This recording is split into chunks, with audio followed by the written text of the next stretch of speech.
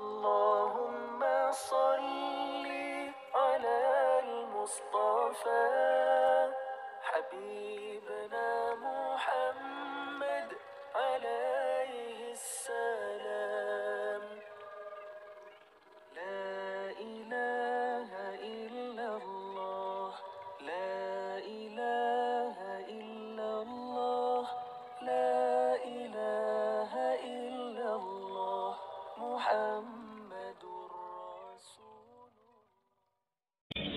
السلام عليكم ورحمة الله وبركاته. باركنا باليقظة أشهد أن لا إله إلا الله وأشهد أن محمدا عبده ورسوله. اللهم صل وسلم وبارك على سيدنا محمد وعلى آله ولبيته وذريته. kita membahas bab tawakkul ya. Kalau bahasa Indonesianya tawakal. Tawakal apa baru? Baru masuk. Baru masuk. Jadi tawakal dari kata wakkala, tawakkala yatawakkalu tawakkulan. Dalam bahasa Indonesia kita mendengarnya tawakal.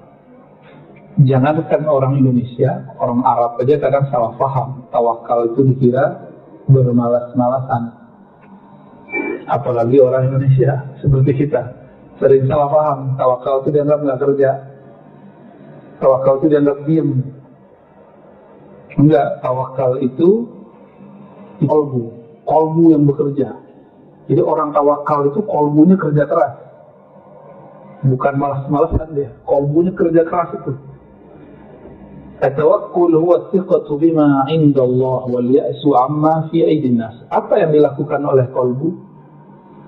Hanya percaya apa di sisi Allah dan tidak berharap kepada apa yang di tangan manusia. Di tangan makhluk. Itu tawakal. Dia berobat ke dokter, tapi dia nggak berharap bahwa kesembuhan ada di tangan dokter. Yang dia pandang saat itu adalah Rasulullah nyuruh dia berobat kesembuhan urusan Allah. Itu. Dia bekerja di suatu institusi, perusahaan, atau dia seorang pegawai, pegawai negeri atau swasta. Dia tidak memandang institusi itu yang ngasih dia rezeki, tapi Allah memberi rezeki lewat institusi itu. Seandainya lembaga tersebut hilang, nggak ada masalah. Allah kan nggak pernah hilang. Kenapa ada orang stres di dunia? Karena dia telah mendewakan tempat kerjanya, telah mendewakan kekasihnya. Tempat kerjanya hilang, kekasihnya mati atau kekasihnya pengen dengan yang lain, maka muncul muncul goncangan dalam dirinya. Maka di situ banyak orang stres ya. Maka tawakal tidak ada kaitannya dengan orang males ya. Justru orang punya kerja keras. Dia buang rasa harap kepada makhluk yang dia tumbuhkan cuma trust percaya kepada Allah Subhanahu wa taala dan ini kerja yang berat bagi kolbu. Sangat-sangat berat bagi kolbu. Tapi kalau dapat melihatnya, ya orang tawakalnya orang-orang yang yang sedang berjuang melawan pengaruh makhluk di kolbunya. Ya. Wakila annahu ayyastawi 'inda al-insan al-iktsar wal ikhlas. Orang tawakal itu sama saja bagi dia. Ini indikator sebenarnya. Jadi di kitab itu kalau ada misalnya kitab risalah Kusyiria, kitab ini hadaid, ada penjelasan yang berlebih mengenai satu kata. Tawakal artinya satu, dua, tiga.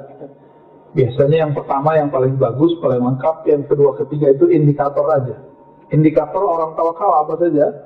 Satu, ayyastawi indal insan al-iksar wal ikhlas. Bagi dia hartanya banyak, hartanya sedikit, kerjanya banyak, kerjanya sedikit, kolbunya tidak berubah. Kolbunya tetap bergantung hanya kepada Allah. Maka dia tidak bertambah yakin karena duitnya banyak, dia tidak berkurang yakinnya kalau duitnya sedikit. Kalau kita kan nggak begitu. Baca waqiah nih, duitnya banyak, rezekinya jadi melimpah, baru dia yakin. Tadinya kurang yakin. Ini butuh pembuktian dulu. Ini kita kebanyakan. Maka iman kita ini belum masuk ke iman mutawakkilin. Orang-orang tawakal itu ada benefitnya, Bapak Ibu yang melakukan Allah. Dia nanti masuk surga tanpa hisap, tanpa azab.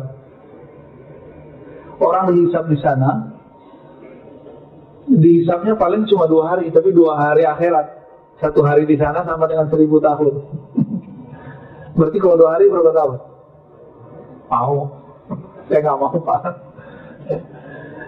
Huwa isqatu hamil waqtil ghaib. Nah, indikator orang sudah tawakal apalagi? Isqat. Isqat itu menggugurkan hamil waqtil ghaib. Angan-angan mengenai waktu besok. Waktu yang belum ada. Besok itu masih gaib ya? Masih gaib. Gaib itu bahasa Arab artinya yang tidak terlihat. Tidak panjang angan-angan untuk masa depan mempersiapkan masa depan boleh. Mempersiapkan itu dengan bekerja. Baik pekerjaan badan atau pekerjaan angan-angan mainnya di sini. Coba kalau saya begini, nanti saya kalau begini, begini. Kebanyakan berandai-andai. Orang ini belum disebut tawakal. Bertawakal itu isqatu hamil waktil ghaib. Jadi kita nggak usah pikirin besok kejadiannya apa. Jalannya aja hidup hari ini, besok mesti beres. Ya, karena kalau virus berikut datang lagi gimana? Ya sudah. Jika kita bahwa mati syahid, jika kita berjuang dan selamat, ya insya Allah kalau gugurkan dosa-dosa kita. Ya, tidak ada kaitannya orang kena virus nggak kena virus munafik tidak munafik. Kawan saya orang paling soleh kena covid juga mati lagi. Apakah dia munafik? Menurut saya saya yang munafik. Dia meninggal kalau orangnya soleh, nggak pernah bohong menurut kita. Ya. Jadi nggak usah dikait-kait dia, suka-suka Allah lah. Suka-suka Allah, jangan cocok logi. Ya. Apalagi indikatornya, baqaul abdi Allah ta'ala bila alaqah. Tetapnya hamba terhubung kepada Allah tanpa gangguan harapan kepada makhluk. Baik makhluk hidup ataupun makhluk yang dianggap jamit, yang tidak bergerak seperti obat, makanan, minuman. Kita menyebutnya benda mati, tapi dalam bahasa saya menyebutnya jamit, yang tidak bergerak. Karena saya meyakini alam semesta ini hidup semua, tapi dalam bentuk hidupnya sendiri, bukan hidup ala kita. Ya. وتفسير العلاقة ما ذكره يحيى بن معاذ في قوله لبس الصوفي حانود والكلام في زهده هرفة ini nggak usah dibaca indikator berikut at-tawakkul tamamul yaqin billah orang yang disebut tawakal itu orang yang yakinnya sempurna kepada Allah yakin nggak hari ini Allah jamin rezeki bukan berarti kita nggak mau kerja Sebetulnya emang hari libur, benar? Ya. Besok yakin nggak Allah jamin rezeki? Ya kita kerja. Kerja yang bisa kita buat. Kerja itu jangan kemudian versi kebanyakan orang. Ya. Kalau mohon maaf ya, kebanyakan kita kan berpikir sibuk, yang penting sibuk, tapi duitnya nggak jelas. Nah itu yang penting, yang penting sebenarnya hasilnya. Ngapain kemudian dari pagi sampai sore, sore sampai besok lagi tapi hasilnya atab, hanya lelah. Apalagi membuat hati kemudian terganggu hubungannya kepada Allah Subhanahu wa taala. Ah, itu cara menumbuhkannya gimana? Kan banyak orang nanya, gimana cara numbuhin yakin? Mudah, husnul billah. Berbaik sangkalah kepada Allah. Ini kalau ada orang nanya lagi, gimana cara yakin?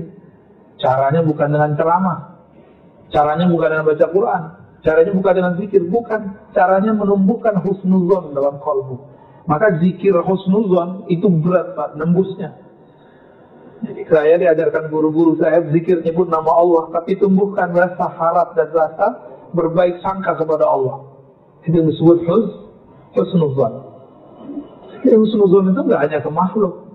Tapi juga kepada Khalik ya wasiqatu bima wa'ada min rizq oh, terhadap jaminan rezeki.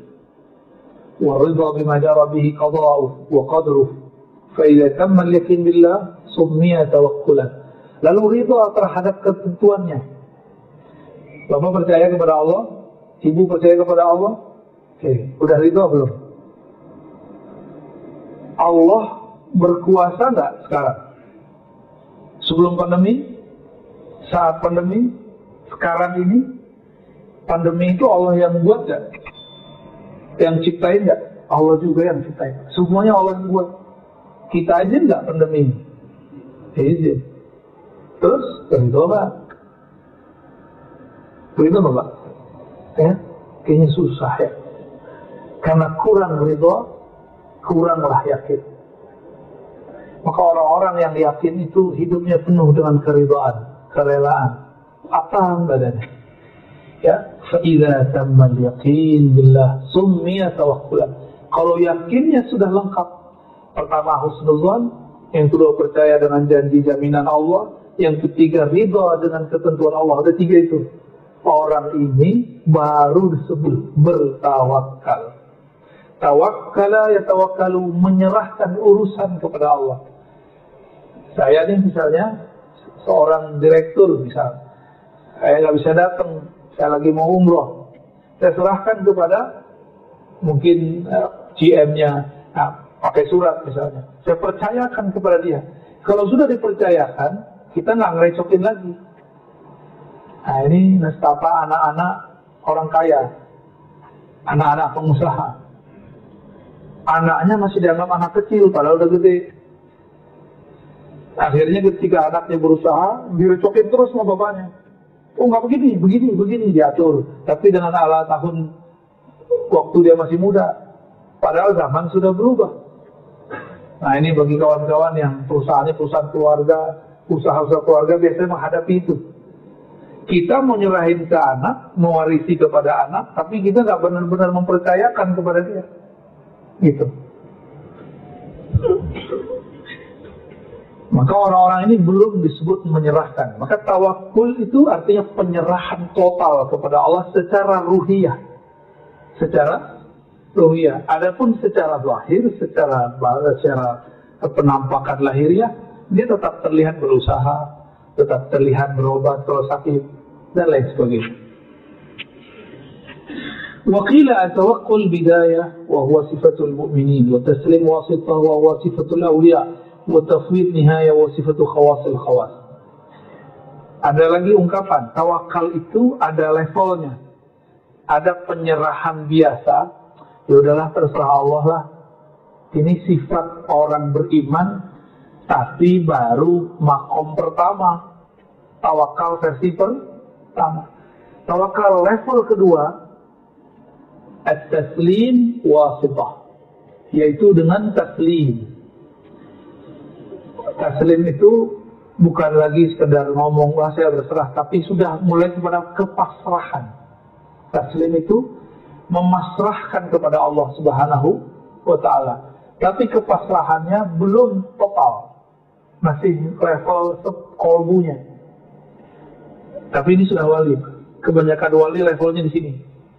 Makanya wali itu ada dua model, ada wali am, ada wali khas. Wali umum, ada wali khas. Wali yang spesial. Inilah at-tafwid. Dia tidak hanya berserah dengan kolbunya, tapi sudah dengan ruhnya. Maka geraknya dia itu atas geraknya Allah Subhanahu wa taala. Faqad madaha Allah taala tawakkul hatta alayhi man yatawakkal Allah fa huwa hasbuh. Ya. Secara umum di surat At-Talaq kasusnya di situ perceraian. Tapi ayat ini bersifat umum.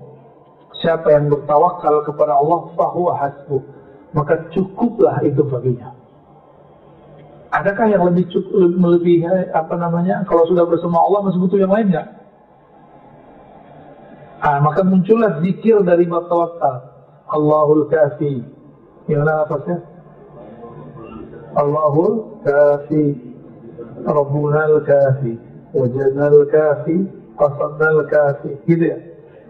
Likulil kafi kafanal kafi alhamdulillah. Itu intinya sama Pak. Cukuplah Allah yang mencukupkanku. Nah, udah selesai lah. Kalau Allah yang mencukupkan kita, Allah sangat mengerti kebutuhan keperluan kita. Kalau makhluk yang mencukupkan, oleh karena itu ulama kita mengulang-ulang. Cuma sekarang cuma jadi, mohon maaf, hanya menjadi seni aja. Seni tarhim sebelum sebelum sholat. Kapi, kapi, kapi, tahunya kawan kapi, kapi doang. Lama-lama diganti jadi kopi. Ya. Wajana kopi, yang suka ngopi. فإذا عزمت فتوكل على الله إن الله يحب المتوكلين jika engkau berazam bertekad melakukan sesuatu maka berserahlah kepada Allah sesungguhnya Allah sangat suka kepada orang yang berserah diri jadi jika ingin menjadi kekasih Allah jadilah orang yang tawakal gampang ya gampang dilafazkan sebenarnya gampang kalau pakai ruf pakai kolbu sulit kalau pakai ini jadi kenapa banyak orang bilang ikhlas itu sulit karena pakai ini. Ridho itu sulit karena pakai ini. Cobalah sesekali berpikirnya tidak hanya dengan otak. Berpikirnya harus dengan kolbu. Lebih mudah. Berpikir dengan kolbu itu kecepatannya luar biasa. Apalagi dengan ruh. Dengan ruhani. Itu lebih cepat lagi. Wa qala Nabi sallallahu alaihi wasallam, "At-tawakkul nisful ibadah wa du'a nisfuha." Ya. Hadis ini tidak sahih, saya nggak usah terjemahkan. Kita baca yang yang hasan, ya, yang yang sahih yang ini. Lau tawakkaltum Allah Ta'ala haqqa tawakkulihi Seandainya kamu bertawakal, berserah diri, pasrah kepada Allah, ya garis bawahi, di dalam kol bumu. Bukan berarti dia malas-malasan. La razaqakum kama turzaqut tayru taghdu khimasan wa taruhu bitanan. Seandainya kamu berserah diri kepada Allah di dalam hatimu, haqqa tawakkuli, dengan tawakal yang sebenar-benarnya, la razaqakum dia akan memberimu rezeki seperti burung diberi rezeki tanpa perlu bekerja di satu perusahaan, satu lembaga, berangkat perutnya kosong, khimafon, pulang perutnya kenyang. Itu burung mikirin nggak besok pagi makan apa? Enggak, dia nggak mikirin. Jadi kita ini tawakalnya kalah sama burung. Kita udah mikirin besok makan apa ya, besok makan apa ya. Ya itulah manusia ya. Wa qala Luqman libnihi, ya bunayya Inna dunya bahrun amik qad ghariqa fihi katsirun minan nas. Wahai ananda, kata Luqman, wahai anakku, dunia itu seperti lautan yang dalam. Yang mana banyak manusia yang sudah tenggelam. Tenggelam dalam dunia bekerja, benar. Tenggelam dalam dunia rumah tangga, urus anak, khidmat kepada suami, suami mencarikan nafkah. Itu yang disebut bahrun amik Faltakun safinatuka fiha taqwallah. Maka jadikanlah kapalmu yaitu kendaraanmu takwa kepada Allah. Wa syira'uha tawakkul Allah. Lalu perjalanannya penuh dengan tawakal kepada Allah. La'allaka tanju wa ma'azunnuka najian. Semoga kamu sukses walaupun itu sulit kata beliau ya wa ma'azunuka najian wa alam anna tawakkul ala qismain nah, tadi kita sudah bagi tawakal tadi ada tiga kalau di sini dibagi menjadi dua. Ada tawakal orang awam. Awam ini umum. Kebanyakan orang beriman ini. Tafidu amr rizqi ilallah. Hanya berkaitan dengan penyerahan rezeki kepada Allah. Jadi orang awam itu kalau ngomong tawakal maunya rezeki mulu, duit mulu. Kita banget ya. Bener. Kapan hidup ini nggak mikirin duit?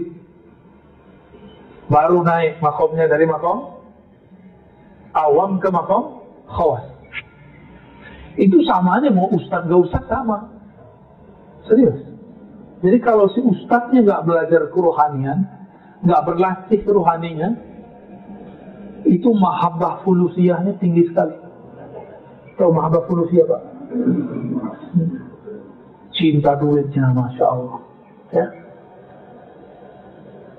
Ada yang naik dikit, cinta viral. Connect kan tuh.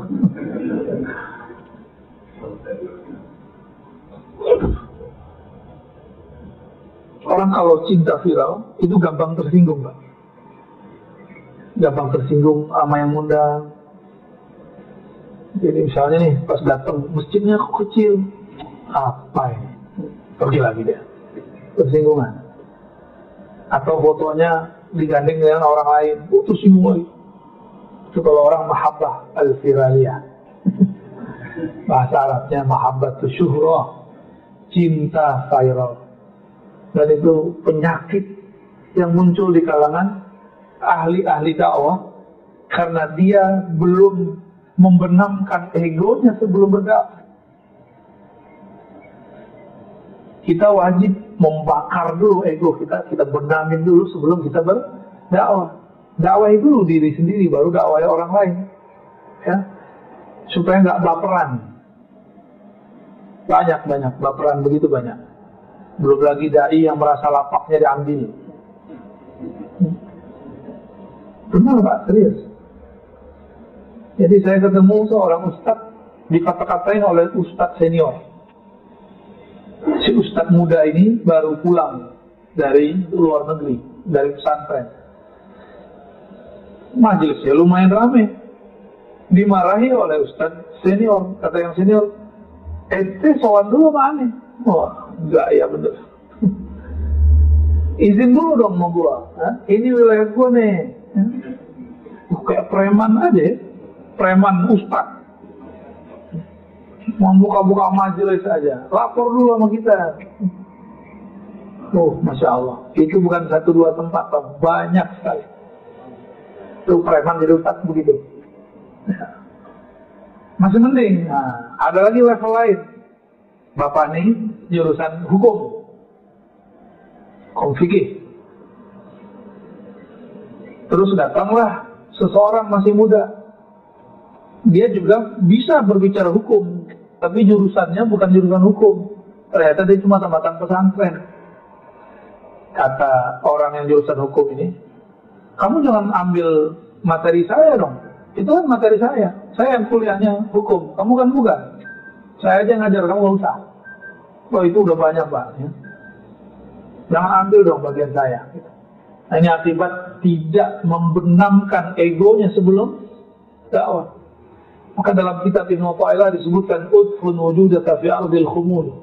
Benamkan dulu wujud sombong di ardil khumul, di tanah ketawaduan. Itu maksudnya. Khumul itu nggak kelihatan sama orang. Mastur. Sehingga nanti sama aja rasanya mau terkenal nggak terkenal sama, mau viral nggak viral sama. Karena dia kemudian bukan menjadi hamba syuhrah, hamba kemasyuran. Dia bukan jadi hamba yang yang yang juga pengen sembunyi-sembunyi enggak. Bagi dia sembunyi tidak sembunyi sama. Allah kan sama kan? Allah Tuhan yang orang yang sembunyi dengan orang yang nggak sembunyi sama nggak? Maka wali itu nggak mesti diam. Wali itu ada yang terkenal. Cuma nggak banyak. Karena banyak orang pengen terkenal jadi wali. Dia bukan wali wali murid sih ya. Nah ini, ini catatan saya terhadap diri saya sendiri dan dunia dakwah.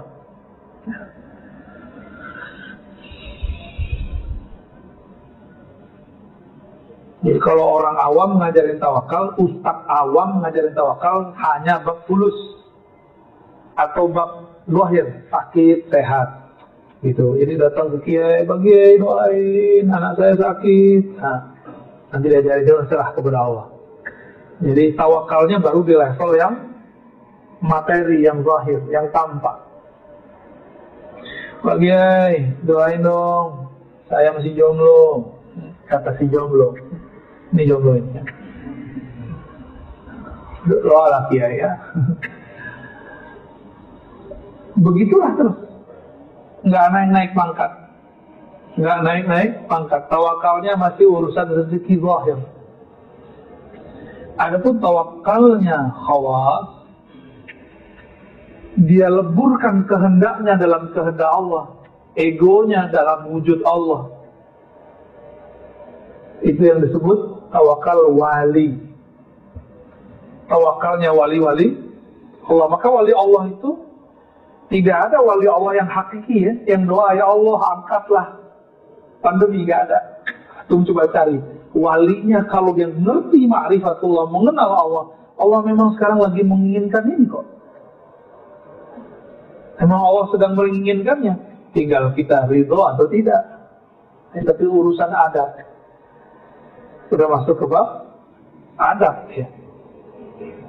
تفويض الأمر إلى الله في كل شيء حتى يبقى العبد تحت أحكام القضاء والقدر si hamba lebur kudratnya, kekuatannya, iradahnya, kehendaknya dalam kudrah iradah Allah dengan ilham dari Allah Subhanahu wa taala. Orang ini nggak banyak wirid. Wirid itu untuk pemula. Tirakat itu bagi pemula. Kalau wali-wali Allah, dia sudah melewati masa-masa itu yang diperlukan bukan lagi wiridan zahir, tapi wiridan kolbu. Dan ini amal yang lebih mulia. Jadi taatnya zahir belum tentu membuat seseorang jadi wali Allah. Siapa tahu ria. Tapi kalau taatnya kolbu pasti langsung kepada Allah Subhanahu wa taala. Jadi saya berharap mulailah kita mengarah ke sana. Kitab ini saya bawa ke sini. Ini kan untuk itu, Pak kita-kita begini bukan di pesantren aja gak banyak yang ngaji ini. Ini hanya di majelis-majelis para masyayikh, para kiai-kiai ulama besar. Sekarang kita bawa ke majelis umum. Kenapa? Karena sekarang virus-virus kolbu itu banyak sekali. Kalau kita nggak bawa kitab ini keluar, kapan lagi nih umat bisa menikmati kitab-kitab seperti ini? Kalau nggak nanti ulama-ulama aja yang menikmati. Ya. Alhamdulillah. Berarti bahasa saya nggak ketinggian gitu. Saya nggak mau bahasanya ketinggian. Atau memang Allah nggak izin saya berbicara. Ciri-ciri Allah tidak izinkan seseorang dai berbicara ketika kalamnya tidak dapat dipahami makhluk. Makanya saya tanya, bisa dipahami Pak? Ini jangan menghibur saya Bapak. Atau bikin, bikin antum senang gitu. Ah, enggak, enggak, saya nggak mau begitu. Orang-orang yang wali khawas itu kesannya Nah, di sini banyak orang tertipu secara kasat mata. Azimul harakati wal ikhtiyar. Seakan-akan nggak ada lagi gerak, tidak ada lagi pilihan. Tadi kita sudah sebutkan, dia hanya bergerak kalau diilhamkan Allah. Dia hanya memilih jika dipilihkan Allah. Inilah makom Sayyidina Abu Bakar ketika ditanya, apa yang kau pilih? Apa yang kau mau, wahai Abu Bakar? Apa jawaban beliau? Aku memilih untuk tidak memilih lagi. Allah lah yang memilihkan begitu. Aku berkehendak agar kehendakku habis dalam kehendak Allah. Ya. Masih pantas nggak kita berkehendak? Sedangkan Allah mau sesuatu. Allah maunya pandemi, kita maunya pandemi diangkat. Kan nggak sopan, Pak. Ini bab kolbu ya. Tega banget, oh, bukan tega. Ini memang sunatullahnya sudah. Kan dunia, dunia ini memang tempat kalau nggak virusnya pandemi, virus apa gitu? Pasti selalu ada.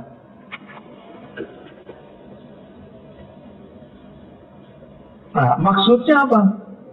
Ada mul harakati bil badan. Secara zahir tidak lihat dia kusak kusuk orang tawakal itu. Jadi dia tenang. Wa adamul ikhtiar bil qalb dan tidak memilih itu di kalbunya. Jadi ada dua hal, ya, gerak pada badan, pilihan pada kolbu.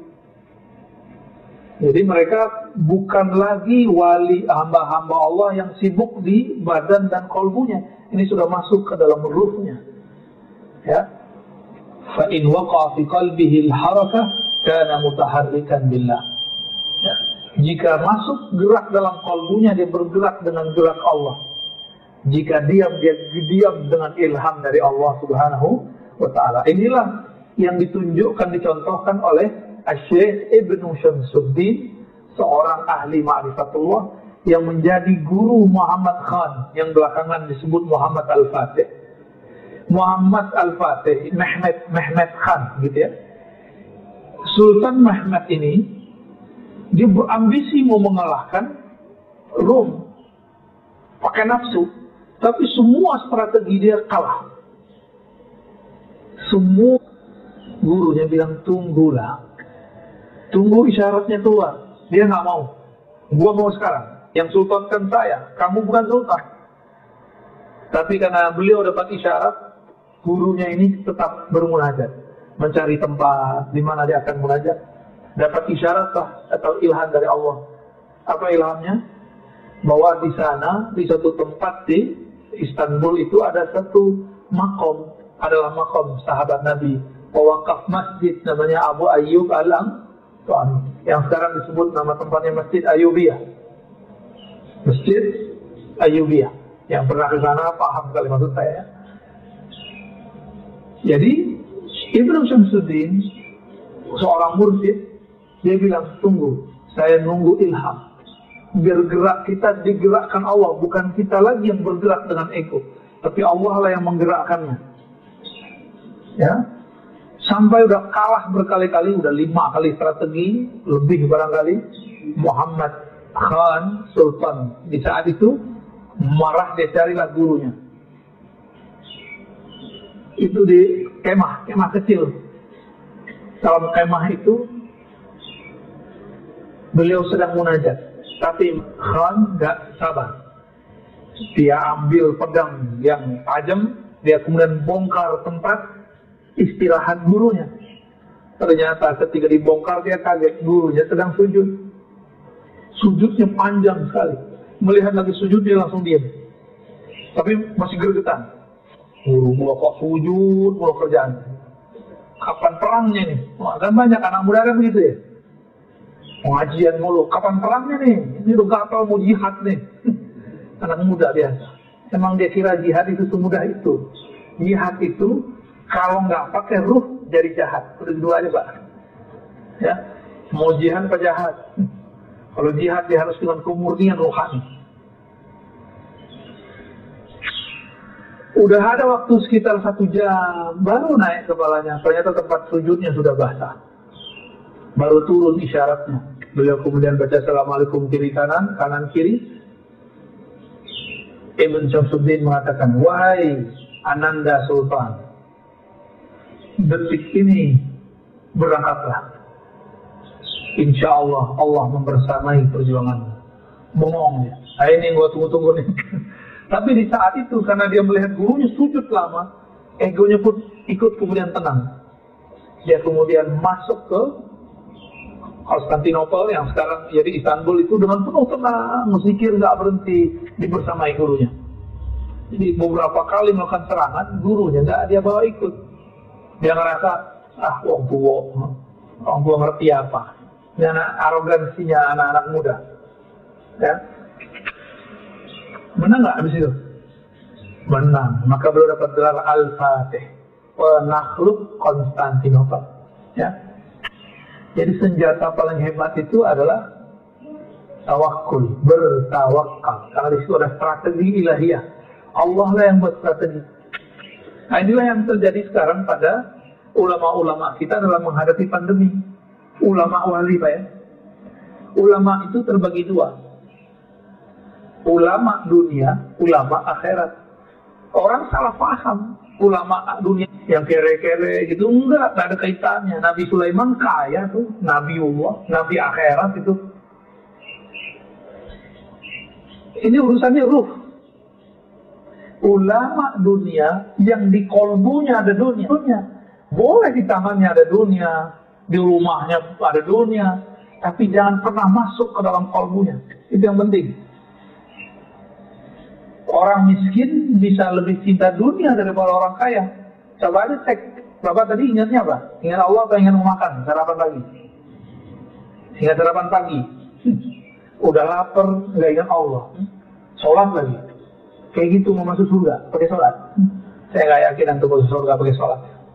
Sholatnya sembari membayangkan selain Allah. Jadi kita ini pencitraan depan Allah, tapi Allah nggak melihat pencitraan zahir, Allah melihat batinnya. Ya. Ulama akhirat itu ulama yang kenal Allah. Jadi wali-wali Allah itu walaupun zahirnya nggak bisa baca kitab beginian, dia bisa baca kitab kitab kolbu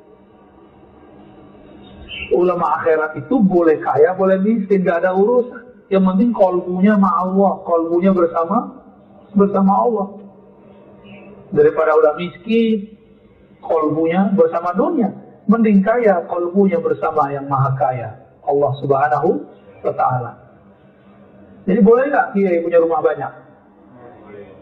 Kok boleh? Yang penting kolbunya bersama Allah. Boleh nggak kiai mobilnya banyak? Gak apa-apa, usahanya banyak. Boleh. Yang penting kolbunya berkiai, istrinya banyak. ya boleh, yang penting kolbunya bersama Allah. Maaf ibu ya. Itu jangan diteruskan Pak ya, nanti bisa perang di rumah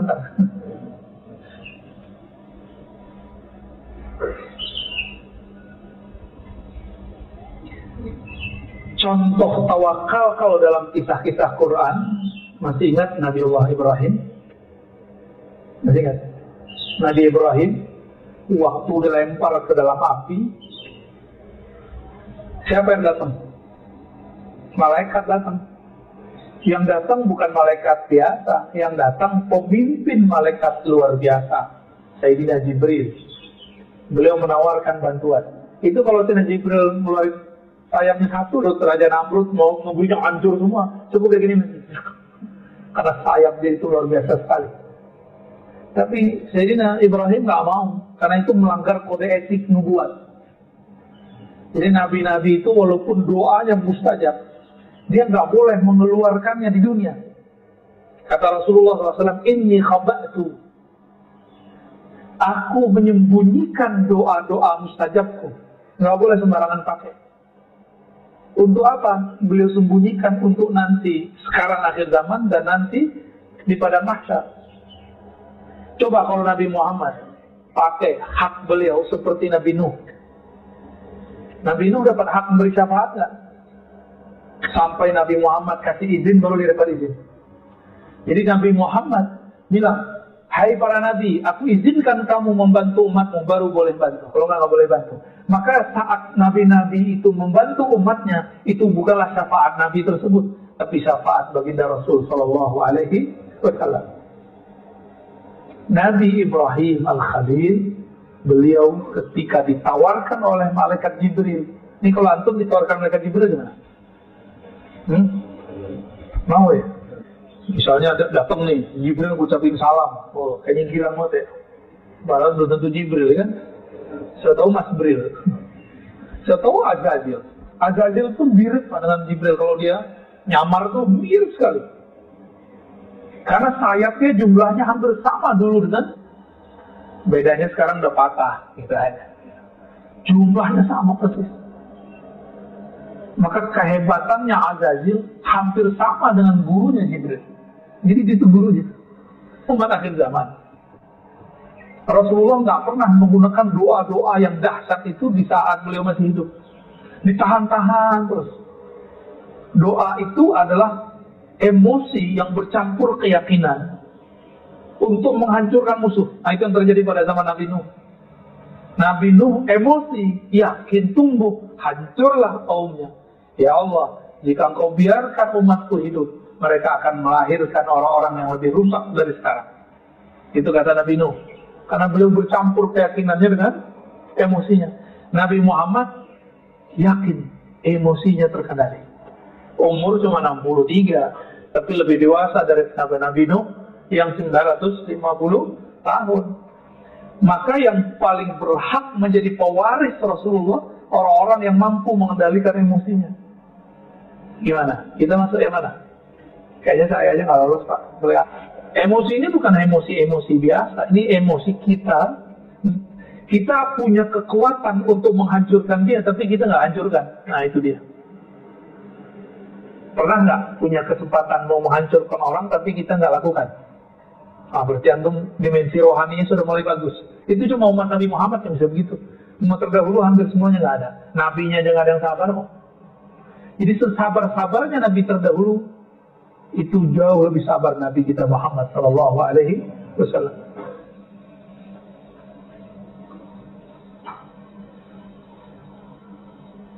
Maka wirid-wirid zikir-zikir yang undang-undang khadam itu nggak menumbuhkan tawakal apalagi antum pakai raja, pakai jimat.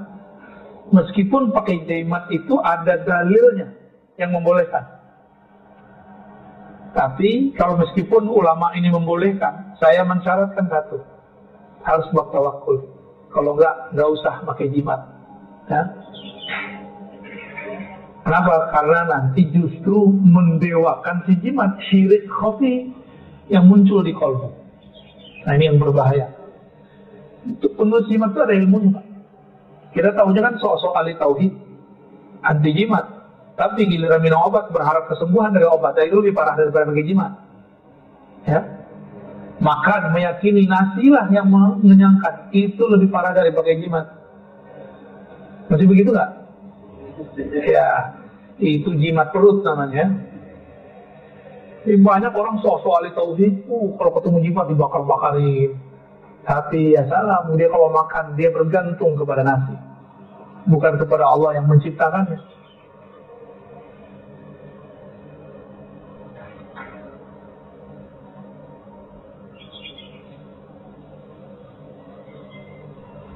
Jam 6, 10 Pak. Lanjut. Ada cukup.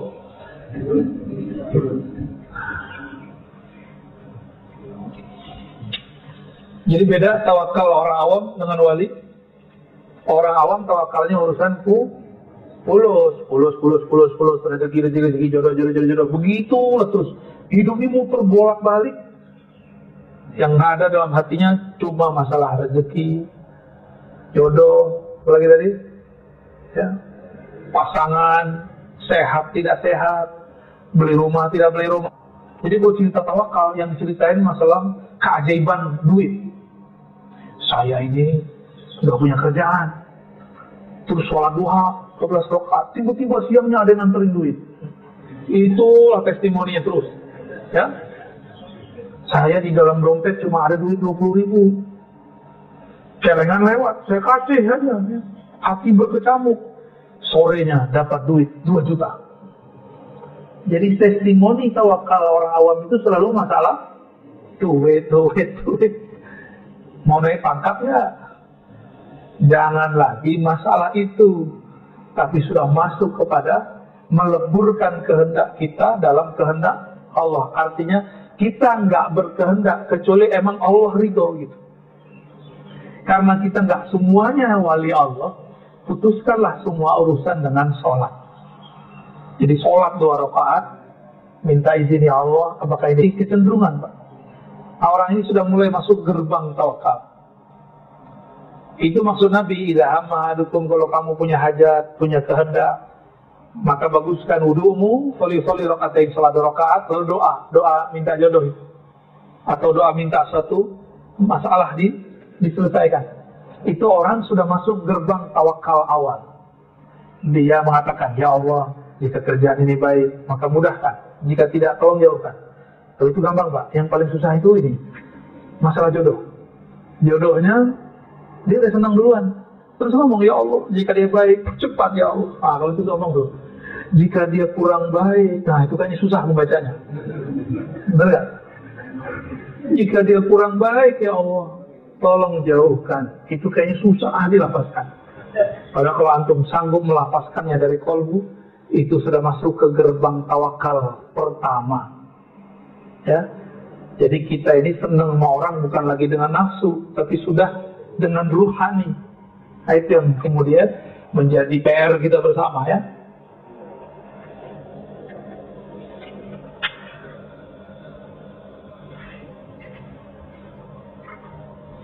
Udahlah ya, kebanyakan. Gimana? Cukup?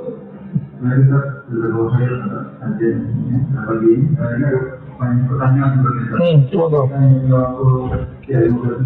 Hmm. Ini dari pertanyaan pertama dan katakan dari itu saja ini eh, nanti selanjutnya begitu tidak akan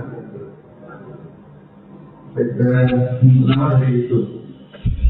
Assalamualaikum ya, eh, saya, jika Allah pertemukan kita dengan orang yang suka pada maksiat, mengajak kita pada maksiat, apakah masuk di dalam peristiwa mengantarkannya pada kita atas satu sebab yang baik?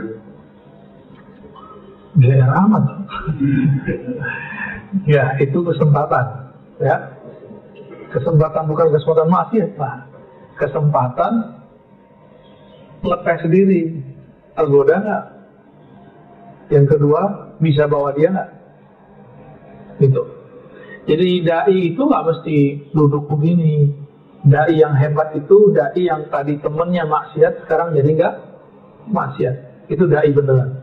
Saya ini muallim namanya. Kebetulan konteksnya dakwah. Kalau muallim sebenarnya kan bapak yang datang ke saya. Ya gengsi pak. Tapi karena konteksnya dakwah, saya datang ke sini. Namun kita ramu dalam bentuk taklim. Supaya apa? Supaya ngomongnya terarah dan terukur. Ada kurikulumnya, yaitu kitab ini sendiri. Kalau enggak nanti saya ngomong yang dulu ini ngomongnya diulang lagi sekarang. Ya. Pernah nggak ikut pengajian begitu? Ikut ustaznya udah sehari tiga tempat omongannya sama. Wah itu pengalaman saya waktu kecil, Pak. Waktu kita masih remaja, kita lagi senang-senang hijrah tuh. Ke mana aja pergi, itu kita ikutin si dai, si ustaz, si kiai. Tapi kok omongannya sama, lama-lama saya mikir jenuh. Itu si kiai, ilmunya nggak di-upgrade. Tahun besok sama, tahun besok lagi sama. Tapi dia kalau ngomong sama saya, utrubul ilma, tuntutlah ilmu, walau bisin, walau ke Cina. Dia nggak tahu kalau kita ini bakal ada masalah sama Cina ya. Saya kasih tahu ya, itu hadis menurut ahli hadis waif. Hmm? Serius, kamu usul ada sama saya, itu hadis saya itu. Jadi kalau kita nggak nyampein begitu disebut sul adab. Dia nyuruh kita belajar, tapi dia dari kecil, dari dulu sampai sekarang tidak pernah mempelajari kembali dalil dia ini benar apa enggak. Nyuruh orang ngaji, tapi dianya nggak berani ngaji lagi. Nah itulah gawatnya kalau ustadz terlalu pinter nggak mau ngajar pakai kitab. Karena kalau ngajar itu pakai kitab aja pak. Ya, saya saran saya kalau ada ustadz usulkan ngaji kitab. Nanti dia akan terarah, dia nggak perlu persiapan aneh-aneh nggak perlu kemudian mikir ya ini pengalaman saya ngajar dulu nggak lama sih pak setahun dua tahun pak setahun dua tahun ngajar nggak pakai kitab sebelum ngajar tuh mau bahas apa ya ini udah kemarin itu udah kemarin lu kehabisan stok kita saya tanpa tanpa ini tanpa buku adalah sekitar 50 materi di sini. Tanpa perlu persiapan. Dulu. Ya. tapi kita kan lupa juga ini udah disampaikan belum. Akhirnya kita istikharah dapat isyarat lah. Kamu kalau ngajar pakai kitab aja. Nah sekarang alhamdulillah. Ini kan khazanah dari Allah subhanahu wa taala. Kalau kita bedah nggak ada habis-habisnya ini aja baru cuma berapa halaman pak. Kayaknya udah nggak kuat gitu ya. Baru berapa halaman? Baru ya sekitar 50 halaman. Ada berapa pak di sini halamannya semua? Ada 300an kita baru 50an masih panjang perjalanan kita ya. Jadi ilmu kiai nggak bisa baca kitab ya. Berhenti aja jadi kiai ya. Apalagi kalau kiai ngomong tawakal itu susah. Gak usah jadi kiai ente ya apalagi ngomong khusyuk itu sulit berhenti jadi kiai ya kenapa ulama itu memudahkan kerohanian bukan menyulitkan orang akhirnya orang awam ke mana-mana ngomong itu sulit khusyuk itu sulit. Benar gak? Tuh kan kantong korban semua kan? Mau lama-lama begitu? Jangan kapan naik rohani kita. Kapan naik rohani kita? Harus naik. Pak. Ini zaman sudah begini. Masa kita masih ngaji versi marifat tahun 90-an? Harus di-upgrade marifatnya. Ya, Kira-kira begitu Pak ya. Mohon maaf, ini sebenarnya saya nggak ngatain diri saya sendiri. Dulu kan kita ngomong begitu, ikhlas sulit. Khusyuk sulit itu saya yang ngomong Pak, bukan ustadz yang lain. Saya yang ngomong. Saya ngomong terlalu di sini. Kamu kalau begitu berhenti jadi ustadz. Akhirnya kita berguru. Benar, saya berhenti jadi ustadz, saya berguru dulu. Berbulan-bulan kita latihan rohani, latihan belajar, latihan belajar. Dan baru kasih, oh ini yang disebut tawakal. Oh ini yang disebut khusyuk. Itu maksud berhenti itu. Ya kalau jadi ustadz terus kapan dia jadi muridnya? Ya, kira-kira gitu pak ya. Jadi kalau tadi dia punya kesempatan orang maksiat, jadi maksiat itu nggak akan berefek kecuali ada kesempatan. Mampukah dia menolak? Yang kedua, mampukah dia narik kawannya? Wallahu a'lam bishawab. Ya. Apa nih? Masih ono? Oke. Ini sudah disortir ya. Bagaimana caranya mengajak orang-orang terdekat kita seperti istri, anak untuk tawakal kepada Allah. Ajarkan anak-anak dan istri berbaik sangka kepada Allah. Husnuzan kepada Allah. Cuma itu caranya, nggak ada lagi. Husnuzan itu di sini atau di sini. Kalau hitung-hitungan ini Pak, istri akan cemburu kepada suaminya kalau suaminya kirim duit untuk keluarganya. Pernah digituin nggak? Mas, kita ini butuh kebutuhannya banyak. Jangan kirim-kirim dulu. Pernah gitu nggak? Oh, itu istrinya harus ngaji tawakal ya. Yang ketawa tuh. ya, yang lain kayaknya masih ini, masih malu ngaku. Jadi tahapannya belajar berbaik sangka kepada Allah. Itu cara tawakal. Nggak ada lagi. Cuma itu jalur pintas. Kalau teori-teori udah banyak. Teori kalau coba hari ini belajar berbaik sangka kepada Allah Subhanahu wa taala. Apa kaitannya dengan ikhtiar, tawakal dan ikhlas? Wah, ini burung ya. Ikhtiar itu pilihan di dalam ini. Kolbu kita cenderung memilih apa? Itu namanya ikhtiar. Jadi selama ini nyebut ikhtiar, ngerti maksudnya. Saya lagi ikhtiar nih, ternyata yang dimaksud ikhtiar itu usaha. Ikhtiar bahasa Arab dari kata ikhtara, yakhtaru ikhtiar. Artinya pilihan kolbu. Pilihan kolbu. Itu ikhtiar ya. Yang bahasa Arab tuh, bukan bahasa Indonesia. Kolbu dia mengatakan wajah tu wajhiya lilladzi fatara samawati wal qalbuku aku hadapkan kepada Allah. Kalau menghadap kepada Allah, maka apa yang Allah lakukan, yang Allah pilihkan, itu yang kita pilih. Kita ini punya kolbu, kolbu itu sudah cermin, cerminnya Allah. Allah mandang di situ, Pak. Coba lihat, kalau kita di depan cermin, tangannya gerak, di dalamnya gerak. Nah, kita ini dijadiin cermin. Sudahkah kita mengikuti cerminan kolbu itu? Jika sudah, baru disebut tawakal. Ya, jadi nggak ngelawan. Kapan gelisah muncul? Jika Allah menginginkan sesuatu, memilihkan sesuatu, lalu kita memilih yang di lain, yang di luar itu. Itu hubungan ikhtiar dan tawakal. Ikhlas, perlu ikhlas bab lainnya nanti ada pembahasan khusus di sini. Insya Allah. Kenapa nggak diterusin mahabbah, khusyuk gitu ya sekalian? Bagaimana caranya zikir agar masuk ke dalam kolbu? Ya harus punya mursyid, punya guru. Orang mau baca tulisan aja ada guru TK, guru SD. Kita ini kurang adil ke dalam diri. Giliran untuk membaca yang tertulis pakai guru. Untuk membaca zikir yang di dalam kolbu nggak mau berguru, nggak adil. Itu tidak adilan manusia. Ya. Saya bisa sendiri, baca kitab sendiri, baca buku sendiri. Gitu. Banyak yang ngomong begitu sama kita. Ya sudah jalani aja sendiri. Akhirnya udah belajar baca kitab macam-macam. Ini banyak kiai pada kolbunya kering. Karena tidak pernah belajar zikir kepada ahli kolbu. Cukup ya, barangkali udah mau setengah tujuh. Semoga kajian ini diridhoi oleh Allah dan Allah memberikan anugerah ilmu tawakal dan amalnya.